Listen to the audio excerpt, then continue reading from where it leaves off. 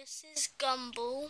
He's my pet hamster and he's great obviously and he's just really cute and awesome and I love him.